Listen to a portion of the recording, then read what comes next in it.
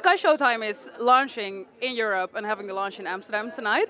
What are you expecting of SkyShowtime?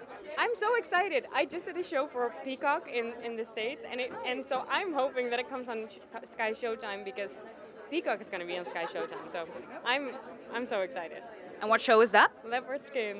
Ooh, can you tell us a little bit about what kind of show that is? Yeah, it's it's uh, like a kind of a heist, funny, dramatic show about.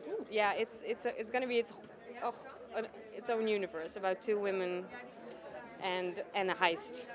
Are there any other shows except from your, your, your own that you're excited about that you're going to be able to watch now in the Netherlands? Many. I saw Nope is on on SkyShowtime. Really? I haven't even seen that one. I saw that. Oh. I want to see it. That's good. I know. Oh I my know. god. I'm good. I know. Nice. And then a little moment for your outfit because we can take a moment for this one. Thanks, thanks. I love this. Thanks.